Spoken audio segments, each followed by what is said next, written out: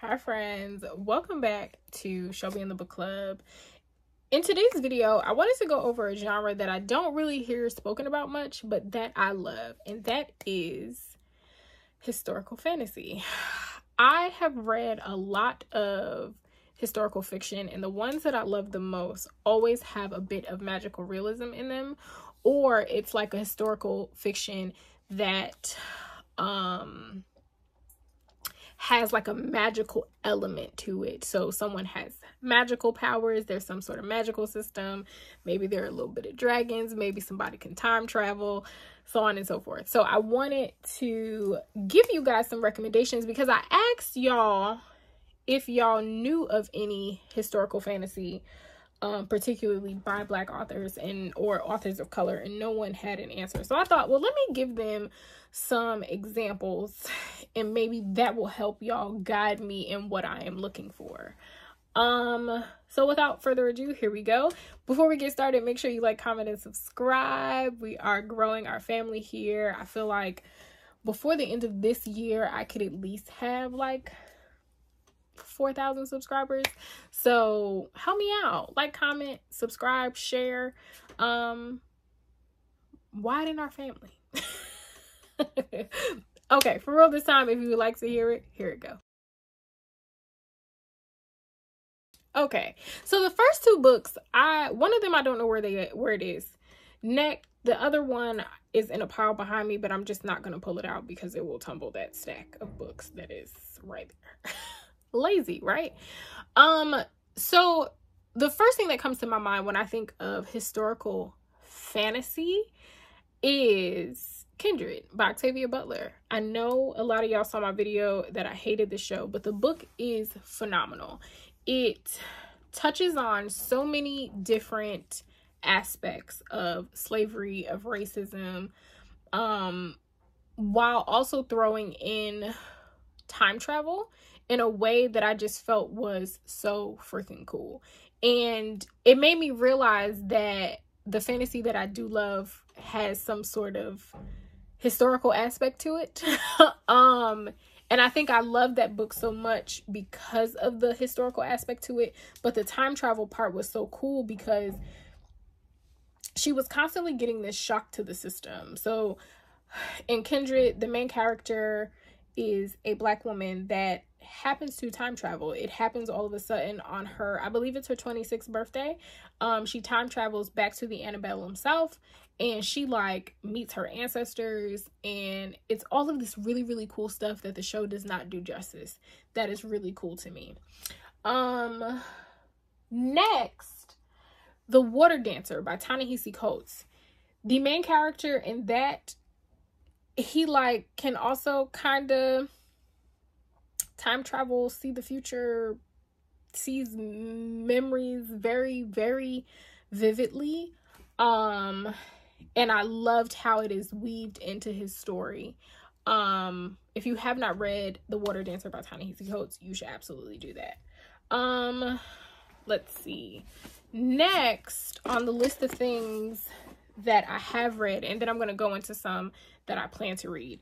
So, the Lovecraft Country series, The Destroyers of Worlds is the most recent one, and I absolutely loved it. I owe you guys a full review of this um because when it came out i had like planned more in my mind but i was sick at the time so if you haven't read the first book you should you should also read this i think though lovecraft country technically The Water Dancer was my first kind of introduction to historical fantasy without me realizing it. Um but I would say the Lovecraft Country series is another was like where I was kind of conscious of like, oh, I like this mix of magic, power, other worldly creatures in with um the historical aspect of it. So in the first Lovecraft Country, it talks a lot about the Tulsa Race Massacre, but there is a um Atticus, one of the main characters, he finds out that he is like a part of this long line of basically witches and warlocks and all of this stuff that he like never knew about his mama and it kind of ties in with the Tulsa Race Massacre. In the second one, Atticus and his dad are um trying to mark the centennial of their one of their ancestors escaped from slavery. Um and we still have more magic. We have more space travel. We have um this like connection to the ancestors that just is so freaking cool to me. This book was amazing. Um and it had some like really good quotes in it too. Um i did a lot of highlighting in this um and it is something that i will probably read again. It kind of made me want to go back and read lovecraft country again for the first time. I think what i loved about this is that it is proof that um that white authors can write black characters that are not filled with trauma that are written well that are not an insult to our people um, which i thought was really cool and i really thoroughly enjoyed. Um, next is another i'm showing you the second book in another series um, that i that i enjoyed. So this is the um, a murder and magic series by nicole glover. The first book is the conductors and this is the second one the undertakers it is about a black couple that were that are helping the underground railroad basically. Um and in both books they solve different crimes which i thought was really cool. Their magic system is based off of like constellations that they can draw which i thought was really cool. And in each book each chapter um has a different picture of a different constellation um which i thought was really cool. I think my only like I'm trying to remember was this considered YA or not? It kind of reads a bit like YA to me. Um in the sense that I wanted more information about the magic system. Like I wanted a more structured explanation for the magic system in those books.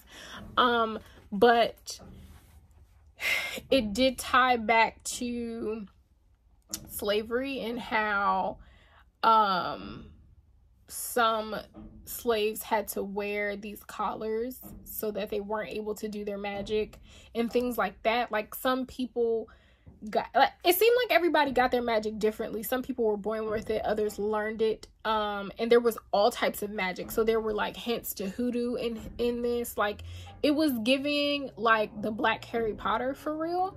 Um and I would have loved to see more of this like it just was so good. Like the magic the the them going to different towns and you know having to hide their magic and so on and so forth.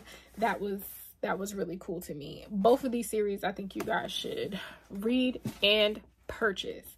Now two books that are new um well three i will say. Two of them recently came out. One of them um someone told me is technically um historical fantasy, but I'm not sure. So the first two that I'm going to start with, I know for sure historical fantasy.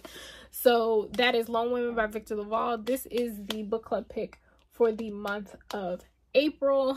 It is about a woman who has some sort of power, but she is in the um she is in California and she is um making her way to Montana as a homesteader. I feel like there are not a lot of books out that actually talk about black homesteaders and about the like them moving to get to the land. Um there is a book called Blackbirds in the Sky that is about the Tulsa Race Massacre. Um that talks about um Tulsa, Oklahoma, and that particular Homesteader Act that caused people to migrate to what I like to call the middle country. Um, like the flatlands in the middle of our country that I feel like only like two people really live out there, and I know that's not accurate thinking, but sorry, love y'all. Um, because without y'all, we wouldn't have potatoes. Next, I have the adventures of Amina Al um, Sirafi by Shannon Chakraborty. This one is about Amina, who is a pirate. Um, This is historical fantasy. I can't wait to read this because it just seems like it's going to be so good. And the pages and the books are decorated. I love that so much. Um, but I've heard really good things about this. These are two that are on my TBR for April that I plan to read and we'll do reviews for you guys. Well, obviously there'll be the the vlog for the um book club pick. Now this one I read that it was um historical fantasy um because i believe the main character has some powers. Um so it says bessa is cursed at birth and exiled on suspicion of being a witch. That's all we need to know really. Um i've wanted to read this one for a while so i'm gonna try to get to it in april um because i've heard really good things about it. And someone that i follow on tiktok who why can I never remember her name? Jesus, be a offense.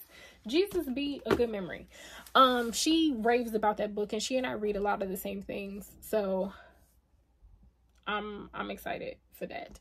So those are my historical fantasy books. Um, I hope that has helped you. If you guys want me to do another video like this for a different genre, please let me know. Um, because it'll help us all kind of venture outside of our comfort zones and read things or look for things that are a little bit different so that I can recommend different things to you guys. Leave your historical fantasy um recommendations. I don't know why I just drew a blank there. Leave those recommendations in the comments and also tell me what other genres that you maybe you're afraid to venture into um that maybe I might read and I can help you um you know find some things in that genre. Um, without further ado, I love you. If no one told you today, you are kind, you are smart, you are important. Bye, friends.